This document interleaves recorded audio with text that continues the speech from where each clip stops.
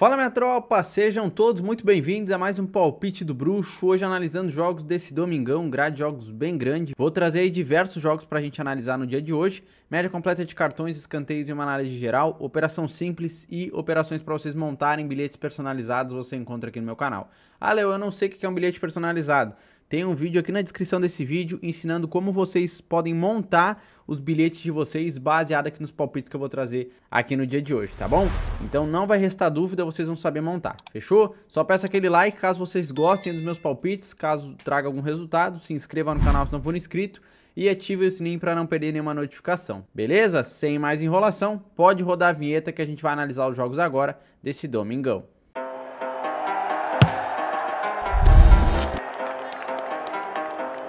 Hop in the car, watch it go vroom.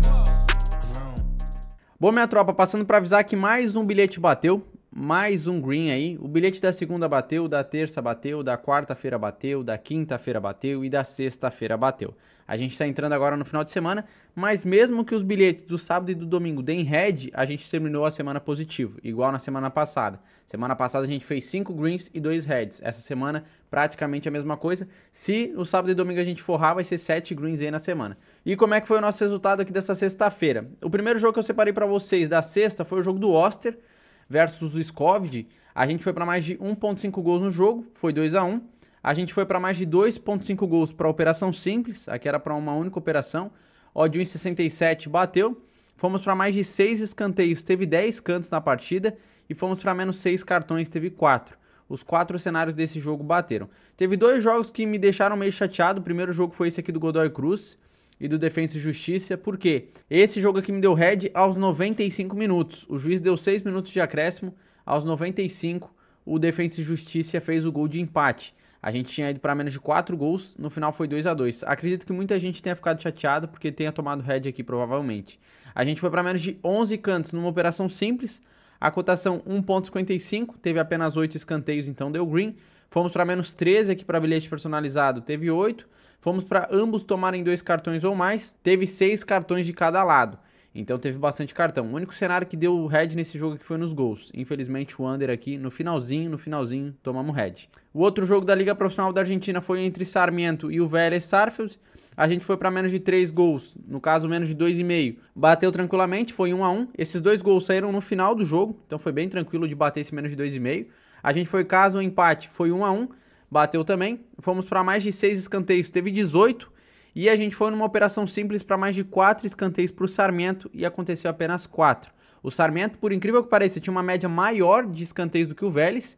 E no final o Vélez fez 14 escanteios. Fez 14 escanteios na partida, coisa de louco. Então a gente só tomou esse head aqui na operação simples nesse jogo do Sarmento. O outro jogo que teve também pela Liga Profissional da Argentina foi aqui os quatro cenários que deram green, o jogo do Huracan e do Taleres. A gente foi para visitante ou empate, foi 1 a 0 para o Taleres, então vencemos. Fomos para menos de 13 escanteios, teve 9. Fomos para visitante vence, a odd 2,60. Indiquei aí uma operação simples a favor do Taleres, que vinha bem melhor classificado do que o Huracan. No final venceu por 1 a 0 e indiquei para vocês no cenário de cartões um handicap mais de 0.5 a favor do Huracan. O Huracan podia fazer mais cartões que o Taleres, ou então empatar na quantidade de cartões, que foi o que aconteceu. Teve três cartões de cada lado, no final pagou. Essa cotação devia estar acima de 1,70, tá? Então é outra operação simples aí que eu indiquei para vocês nesse jogo da Liga Profissional da Argentina. E para a gente finalizar nossa rodada dessa sexta-feira, como é que foi o nosso resultado? A gente teve aqui o jogo do Atlético Goianiense do Esporte, que foi outro jogo que me deixou meio triste. Por quê? Esse jogo aqui, tropa, se vocês forem olhar lá no histórico, quando que saiu os gols, os três primeiros gols saíram nos primeiros 15 ou 20 minutos de jogo. Saiu um gol atrás do outro. O primeiro gol saiu aos 8 minutos. Depois, aos 11, teve outro gol. E depois, aos 15 ou aos 18, saiu o terceiro. Então começou a sair gol muito rapidamente. Depois, no finalzinho, o Atlético Goianiense fez mais um gol no primeiro tempo ainda. E no segundo tempo não teve gol. A gente foi para menos de 4 gols, não bateu, porque foi 3 a 1 Fomos para menos de 3 gols, também não bateu. Aqui era operação simples, ó, de 1,61 deu red. Fomos para mais de 7 escanteios, teve 12. E a gente foi para menos de 6 cartões, teve 4. O cenário de escanteios e de cartões bateu. A única coisa que a gente tomou head aqui nesse jogo foi em gols. Normalmente a gente forra muito em gols, mas hoje não foi um dia tão bom aí nessa sexta-feira. Fechou, tropa? Mas tô aqui trazendo com transparência todo dia, mais transparente que água aqui o resultado que a gente tem. Porque trazendo isso aqui vocês percebem que nem todo dia a gente vai lucrar, nem todo dia a gente vai forrar. Mas com gestão de banca, no longo prazo a gente vence. Essa semana aí, só nos bilhetes prontos, a gente tá com 5 greens e tá entrando pro sábado e domingo. Não sei ainda qual vai ser o resultado. Mas no momento a gente já terminou a semana lucrativa, tá bom? Vamos lá então analisar os jogos do Domingão, que é o que de fato interessa para vocês aqui no canal. Bom, minha tropa, vamos começar então pela Suécia aqui, às 10 horas, o Elfsborg enfrenta o Gothenburg. Esse jogo aqui é o primeiro colocado, enfrentando um time que já tá mais lá embaixo, odd 1,33 aí pro Elfsborg, contra o mod 9 ao Gothenburg. Se a gente der uma olhada na classificação, qual que é o cenário? O Elfs vem aqui, ó, em primeiro colocado, 14 jogos, 11 vitórias, 2 empates e uma derrota, 34 gols marcados em 14 jogos, tem uma média muito interessante de gols marcados, e sofreram 10, tem uma média acima de 2 gols por jogo. Já aqui, ó, o Gothenburg vem 15º, 14 jogos, venceu apenas um, empatou 5 e perdeu 8. 12 gols marcados em 14 e sofreu 18 gols. Na Race, o que, que a gente observa? O Elfs, tropa, vem aqui, ó, de 4 vitórias e um empate, vem muito bem em casa, a maioria dos jogos deu mais de 2.5 gols, 3 de 5 deu mais de 2,5. Do Gothenburg fora, vem aqui de 2 empates, 2 derrotas e uma vitória. Mais de 2,5 aconteceu em 2 de 5. Porém, vai pegar o primeiro colocado aí da competição. Veja o jogo para gols, certo? O que, que eu faria? Vitória seca eu vou computar 1,33 aí pro Elves jogando em casa. É o primeiro colocado pegando um dos últimos. Então, com essa cotação em 33 para mim tem um certo valor. Vou fazer para vocês. Isso aqui para bilhete personalizado tá? Não esqueçam, o vídeo está na descrição para vocês aprenderem como montar. Isso aqui é para bilhete personalizado. Já para operação simples, eu vou indicar para vocês mais de 2,5. O Elfo jogando em casa, acredito que aconteça mais de 2.5. A odd aí tá 1.57 na Betano e na Bet365. Isso aqui para operação simples, fechou? No cenário de escanteios, o Elfsborg tem uma média de 6.3 escanteios e o Gothenburg tem uma média de 6.3 também. Eu vou apostar para mais de 6, mais de 6 escanteios no jogo. Já no cenário de cartões, 1.8 do Elfsborg contra 1.6 do Gothenburg. Eu vou operar para menos de 5.5 cartões. Essa linha para cartão provavelmente só vai abrir na Betano. Então quem opera na Betano vai conseguir operar em cartões aqui nesse jogo. Se abrir a linha para menos de 5.5 cartões, pode fazer, é o que eu faria, beleza? O nosso próximo jogo é pela Série A, Campeonato Brasileiro aí, às 11 horas o Cruzeiro enfrenta o Coritiba. O Cruzeiro não vem numa boa sequência em casa, vem fazendo poucos gols ali, já vou mostrar ali o, cabeça a cabeça. E o Coritiba é um dos piores times aí dessa Série A. Se a gente dá uma olhada primeiro nas odds, a odd 1,57 ao Cruzeiro contra o mod 5,75 ao Coritiba. Na classificação, qual que é o cenário? O Cruzeiro vem melhor colocado, está em nono, 14 jogos, 6 vitórias, 3 empates e 5 derrotas, 16 gols marcados em 14 e sofreram 11 pode ver que a média de gols marcados do Cruzeiro é praticamente um gol por jogo. Já de gols sofridos, praticamente um gol também. Já o Coritiba produz pouco e sofre bastante. Está em 18º, 14 jogos, 2 vitórias, 4 empates e 8 derrotas. 14 gols marcados em 14 jogos, um gol por jogo, e sofreram 28, 28 gols. Mesmo com essa média do Curitiba de 28 gols sofridos em 14 jogos, eu não operaria aí para muitos gols nesse jogo. Por quê, Léo? Por que, que tu faria isso? Os últimos cinco jogos do Cruzeiro em casa, tropa, olha só. Quatro derrotas e uma vitória. Placares magros, todos eles deu menos de 2.5 e menos de 3,5. Por mais que o Coritiba não esteja numa boa fase, eu não vejo um jogo para o Cruzeiro desossar, fazer muitos gols. Sinceramente, eu não vejo. Até porque o desempenho deles em casa não é muito bom. Já fora o Coritiba, vem aqui ó, de três derrotas, um empate e uma vitória. É um time que já sofre mais gols fora de casa, certo? Se a gente olhar, todos eles deu mais de um e meio. Quem quiser se arriscar por mais de 1.5 gols, pode ir. Mas se fosse para se arriscar por mais de 1,5, eu preferiria pegar uma dupla chance ao Cruzeiro. Para mim faz mais sentido, tá? Pelo cenário do Cruzeiro ali nos últimos 5 jogos terem dado poucos gols, eu prefiro pegar uma dupla chance a eles do que o mais de 1,5. Por esse aspecto, eu vou para menos de 3.5. O menos de 3,5 do Coritiba fora aconteceu em 2 de 5. Eu vou fazer aí um menos de 3,5. Para mim não é jogo para mais de 3 gols, tá? Pode ser aí que o Cruzeiro vença por 2 a 0, 2 a 1 mas eu não vejo jogo para mais de 3 gols. A odd 1,30 para mim tá com uma cotação interessante para eu fazer o menos de 3.5. Já para operação simples, a gente vai operar aí para escanteios. O Cruzeiro tem uma média de 9.9 escanteios, é uma média relativamente alta, e o Coritiba 5.9. Eu vou apostar para mais de 10 escanteios no jogo com uma odd 1,72. Isso aqui para operação simples. Já para bilhete personalizado para quem quiser operar em escanteios, vai para mais de 7. Mais de 7 cantos no jogo, tá bom? No cenário de cartões, 2.7 do Cruzeiro contra 4.3 do Coritiba. Para mim é jogo tranquilamente para mais de 3. Mais de 3 cartões aí nesse jogo. Fechou? Da Série A, a gente vai dar um pulo na nossa queridinha Liga Profissional da Argentina. O Belgrano enfrenta o São Lourenço. Jogaço, o Belgrano aí é um time que vai jogar em casa, é um time relativamente forte e o São Lourenço tem uma das melhores defesas da competição. Odd 1,91 aí ao Belgrano contra o mod 4,75 ao São Lourenço. Esse jogo é às 14 horas. E na classificação o que, que a gente pode observar? O São Lourenço aqui, ó, em terceiro colocado, 24 jogos, 11 vitórias, 10 empates. Olha só, uma dupla chance faz sentido, hein? Perdeu apenas 3 jogos. Fez 22 gols em 24 jogos e sofreram 9. Já que o Belgrano vem décimo colocado, 24 jogos, 10 vitórias, 5 empates e 9 derrotas. É um time que perdeu bem mais. Marcou 20 gols em 24 jogos e sofreram 21. Média baixa de gols marcados e gols sofridos, certo? O Belgrano praticamente um gol por jogo de gol feito e gol sofrido. E o São Lourenço, pouquíssimos gols sofridos aqui em 24 jogos. O que, é que eu computaria para vocês? Muito provavelmente menos de 2,5 dos últimos cinco jogos do Belgrano em casa, 23 vitórias, um empate, uma derrota. Menos de 2,5 aconteceu em 4 de 5. 4 de 5 jogos e vai enfrentar uma das melhores defesas da competição. O São Lourenço fora. Olha só, os últimos 4 jogos, todos eles deu menos de 2,5 gols. Pouquíssimos gols aqui nas partidas. Vem de dois empates, duas derrotas e uma vitória. Vamos lá, o que, que eu computaria aí para vocês? Menos de 2,5. O menos de 3,5 a cotação tá baixa, então não vou indicar. Vou pegar o menos de 2,5. A odd na Bet365 na Betano 1.40. Isso aí para bilhete personalizado. Já para operação simples, eu vou parecer maluco, mas eu vou na dupla chance ao São Lourenço. Por quê? Naquele cenário da classificação que a gente viu aqui, ó, tropa. O São Lourenço de 24 jogos venceu 11 e empatou 10. Perdeu apenas 3. Então para mim faz total, total sentido uma dupla chance pelo valor da odd. Eu vou fazer. Odd 1,83. Para quem quiser se arriscar na cotação aí a dupla chance ao Belgrano, tá 1.18. Eu, pelo valor da odd e pelo cenário que eu vi ali na classificação, para mim faz muito mais sentido toda a vida eu ir numa dupla chance ao São Lourenço, mesmo jogando fora de casa como uma equipe forte, que é o Belgrano em casa. Eu vou me arriscar nessa dupla chance aí ao São Lourenço, fechou? No cenário de escanteios, o Belgrano tem uma média de 3.9 e o São Lourenço 4.3. Eu vou apostar para menos 13 escanteios no jogo. Já no cenário de cartões, 1.6 do Belgrano contra 3.5 do São Lourenço. Aqui eu vou apostar para ambos tomarem dois cartões. É o que eu computaria para vocês aqui nesse jogo da Liga Profissional da Argentina. Da Liga Profissional da Argentina, a gente vai voltar para o Campeonato Brasileiro, porque às 16 horas tem o famoso Flu-Fla. O Fluminense enfrenta o Flamengo, clássico carioca. Jogaço aí pela rodada número 15.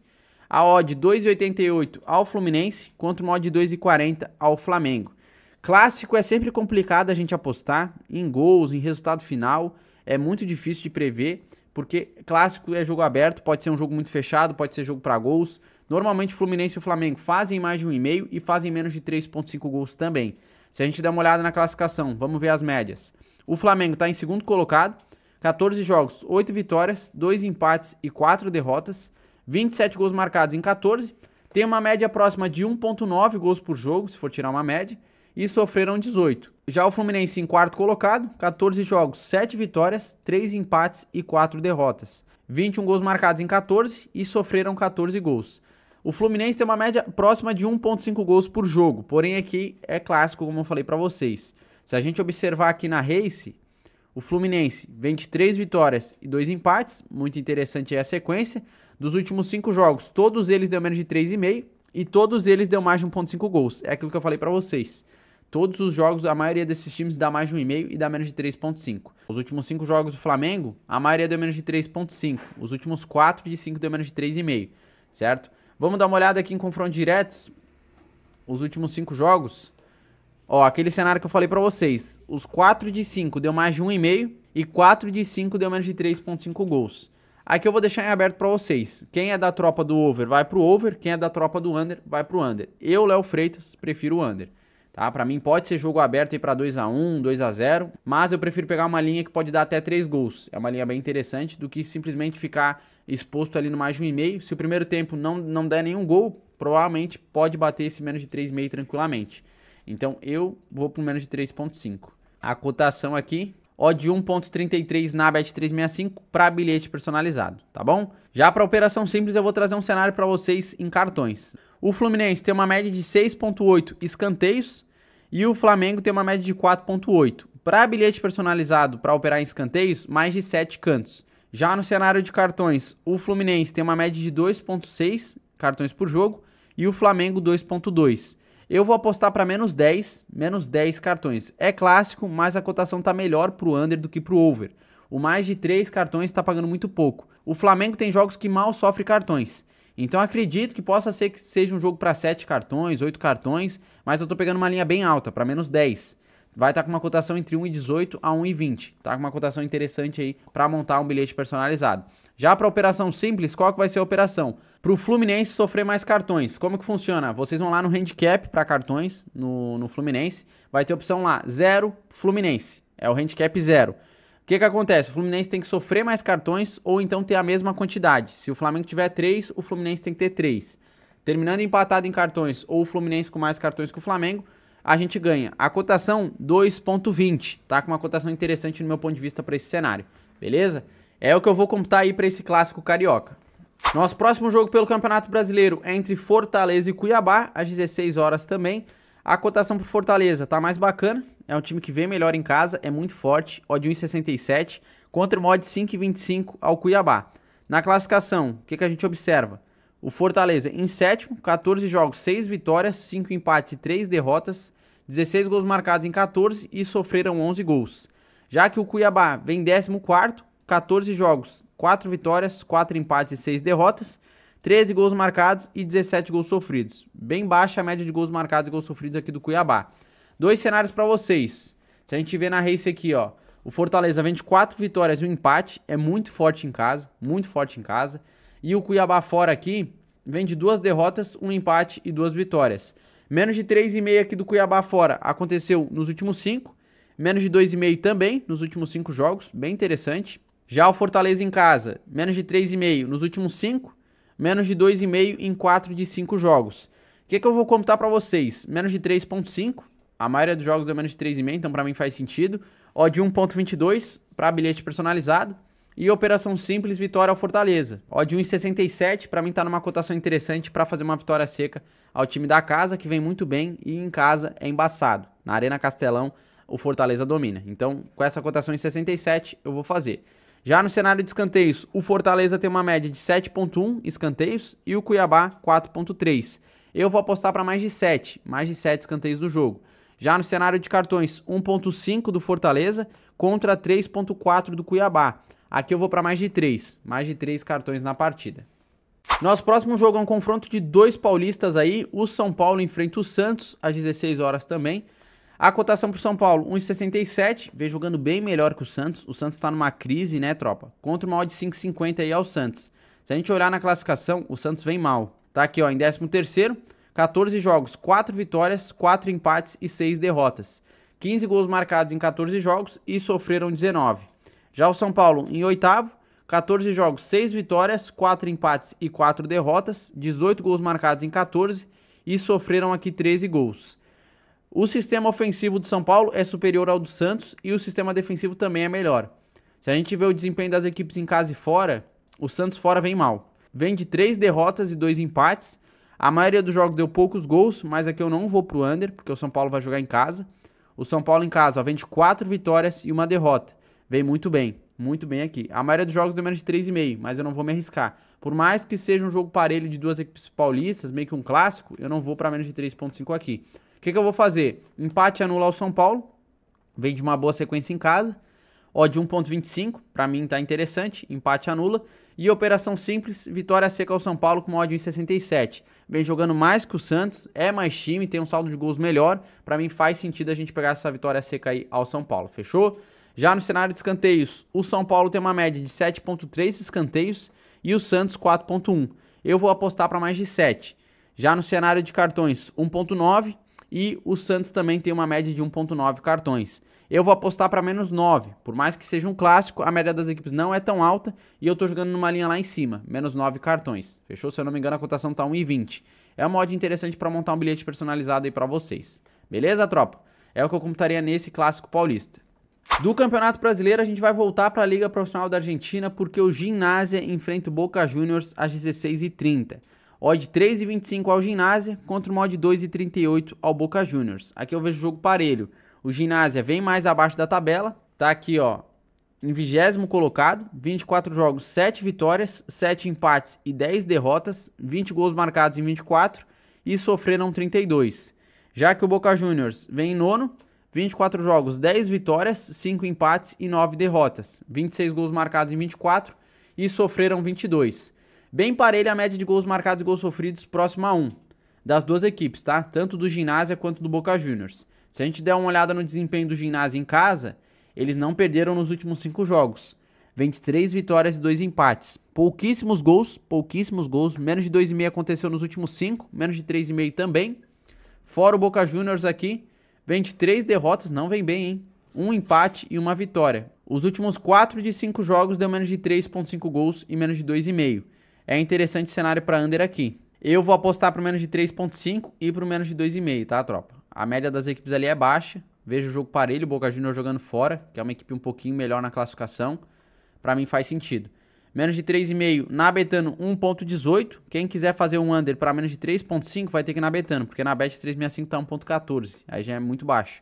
Já aí para operação simples, menos de 2,5 com mod 1.50 aí na Betano. É o que eu computaria para gols aqui nesse jogo. Já no cenário de escanteios, o Ginásio tem uma média de 5.2 escanteios e o Boca Juniors 3.4. Eu vou apostar para menos 13. A média das equipes não é tão alta, a maioria dos jogos que elas se enfrentaram deu poucos escanteios, então eu vou para menos 13. Já no cenário de cartões, 2.1 do ginásio contra 3 cartões aí do Boca Juniors. Eu vou apostar para ambos tomarem dois cartões ou mais. Ambos levam no mínimo dois cartões, tá bom? Agora a gente vai finalizar nos últimos dois jogos pela Série A. Tem o jogo do Atlético e depois tem o jogo do meu Colorado. Então vamos lá. O Atlético Paranaense enfrenta o Bahia às 18h30. Cotação para o Atlético, odd 1,60 contra o mod 5,50 aí ao Bahia. Jogo, no meu ponto de vista, equilibrado. A cotação tá bem favorável para o Atlético, mas eu vejo um jogo parelho para poucos gols. Já até adianto esse cenário para vocês. Por quê? O Atlético Paranaense está em 11º, 14 jogos, 6 vitórias, 2 empates e 6 derrotas, 18 gols marcados em 14 e sofreu 18. Já o Bahia em 16º, é um jogo importante para o Bahia porque está beirando a zona, 14 jogos, 3 vitórias apenas, 4 empates e 7 derrotas. Marcaram 15 gols em 14 e sofreram 21. Por mais que o Bahia seja uma equipe inferior, não sofreu tantos gols assim nos últimos 14. Sofreu mais de um gol por jogo, mas eu vejo o jogo para ele porque é um jogo muito importante para eles. E se eles jogarem como eles jogaram contra o Grêmio pela Copa do Brasil, vai ser difícil o Atlético Paranaense segurar, tá? Os últimos cinco jogos aqui do Atlético em casa, 23 vitórias, um empate uma derrota. A maioria dos jogos deu menos de 3,5, 4 de 5, 3 de 5 deu mais de 1,5 e o Bahia fora não vem bem, né? Vem aqui, ó, de três empates e duas derrotas. Menos de 3,5 aconteceu em todos eles e menos de 2,5 aconteceu em 4 de 5. Esse jogo aqui foi 1 a 1, depois o Grêmio venceu nos pênaltis. Então, 4 de 5 deu menos de 2,5. Aqui eu vou pro under também. É um jogo muito importante pro Bahia. Eu vou para menos de 3.5. Acredito que eles segurem muito bem as pontas aí contra o Atlético jogando em casa. Então, menos de 3,5 para mim faz sentido. Cotação 1.25 na Bet 365. Isso aqui para bilhete personalizado. Já para operação simples, eu vou apostar em escanteios. O Atlético Paranaense tem uma média de 6 escanteios por partida e o Bahia 6.2. Eu vou apostar para mais de 9. Mais de 9 escanteios com mod 1,53. Já para bilhete personalizado, quem quiser operar em escanteios, vai para mais de 7. Já no cenário de cartões, 2.5 do Atlético Paranaense contra 3 cartões do Bahia. Eu vou apostar para menos 8. Vou me arriscar aqui para menos 8. Vou tentar pegar uma cotação melhor do que para o over. Quem não quiser ir para menos 8, pode ir para mais de 3. Mais de 3 cartões aí nesse jogo. Fechou? E para a gente finalizar aqui nossa rodada desse domingão, separei o jogo do meu Colorado contra o Palmeiras. Jogo difícil de ser analisado, às 18h30. As equipes têm pontos bem semelhantes em gols marcados e gols sofridos. Até na race ali, se a gente der uma olhada, vocês já vão perceber. O que, que a gente vai ver primeiro? A cotação odd 2,80 ao Internacional contra uma odd 2,60 ao Palmeiras. Aqui já mostra o equilíbrio da partida, as cotações bem equilibradas. Se a gente der uma olhada na classificação, o Inter vem décimo colocado, 14 jogos, 6 vitórias, 3 empates e 5 derrotas. É uma equipe que produziu menos ofensivamente do que o Palmeiras, marcou 13 gols em 14 e sofreu 16. Já aqui, ó, o Palmeiras está em quinto, 14 jogos, 6 vitórias, 6 empates e 2 derrotas, 25 gols marcados em 14, tem uma média melhor de gols marcados, e sofreram 13. Sofreram um pouquinho menos gols que o Internacional, 3 gols a menos, menos de um gol por jogo. Se a gente dá uma olhada aqui fora, o Palmeiras não vem tão bem, tá? Eles vêm aqui ó, de 3 derrotas, um empate e uma vitória. Menos de 3,5 aconteceu em 4 de 5 jogos. Bem interessante menos de 3,5 para mim nesse jogo. Para mim é o melhor cenário que eu buscaria para vocês, é o menos de 3,5. Porque o Internacional também em casa, a maioria dos jogos deu menos de 3,5. 3 de 5 deu menos de 3,5 gols. Só não deu menos de 3,5 contra o América e contra o Independente Medellín, que eles meteram 3 gols. O restante, todos eles deu menos de 3,5. Já o Inter em casa vem bem também. É um cenário que a gente tem que levar em consideração. Vem de 4 vitórias e um empate. Eles vêm tendo um bom desempenho em casa. O que, que eu faria talvez para arriscar? Uma dupla chance ao Internacional pela cotação. A odd aqui está 1.50. Isso aqui para operação simples. Vitória do Internacional ou empate. Para mim é jogo muito mais para empate do que para vitória do Inter.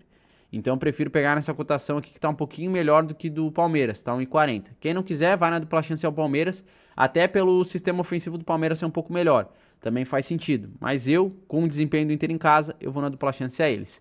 Já aí para bilhete personalizado é o menos de 3,5, com uma odd 1.25 na Bet365. Fechou? No cenário de escanteios, o Internacional tem uma média de 6.2 escanteios e o Palmeiras 4.3. Para bilhete personalizado, a gente vai para mais de 7. Já no cenário de cartões, 2.7 do Inter contra 2.6 do Palmeiras. Para mim é um jogo parelho, jogo equilibrado para mais de 3 cartões. Eu acredito que aconteça mais de 3. É o que eu computaria para vocês operarem nesse jogo e no pré-live aí nesse domingão. Fechou, minha tropa? No bilhete pronto, como que a gente vai? A gente vai para menos de 3.5 gols no jogo do Cruzeiro, vamos para menos de 3.5 gols no jogo do Inter e mais de dois cartões na partida do Internacional contra o Palmeiras. Forma um bilhete com odd 1,72. No momento atual que eu estou gravando está essa cotação, 1,72. É uma mod interessante para a gente operar nesse domingão, com muita cautela, muita tranquilidade e com muita gestão de banca. Coloquem no máximo aí entre 1 a 3% do capital de vocês por operação aqui no canal. É a indicação do bruxo para vocês terem uma boa gestão de banca. Fechou, tropa? Sem pressa, sem ganância, a gente já tá com a semana positiva, então vamos com cautela aí nesse domingo para a gente fechar com chave de ouro aí nossa semana, beleza? Se vocês gostaram e curtiram os meus palpites, não esquece, só fortalece aí naquele like e se inscreva no canal se não for inscrito. Obrigado a todos que me acompanharam até aqui, vocês são demais. Se vocês puderem comentar o que vocês acharam dos palpites, curtir, comentar, compartilhar com um amigo aí para forrar no domingão, beleza? Tamo junto e até o próximo vídeo. Valeu!